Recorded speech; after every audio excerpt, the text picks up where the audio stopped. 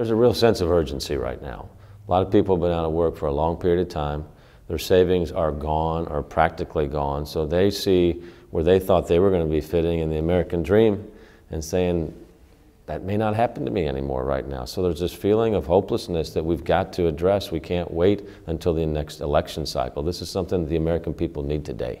The American Jobs Act can be really helpful to Louisville right now. About 10 days ago, the uh, Sherman Minton Bridge, Interstate 64, was shut down uh, during an emergency repair situation. So this is exhibit A on why we need to be investing in infrastructure in our, in our country. People understand we've got to reduce the debt.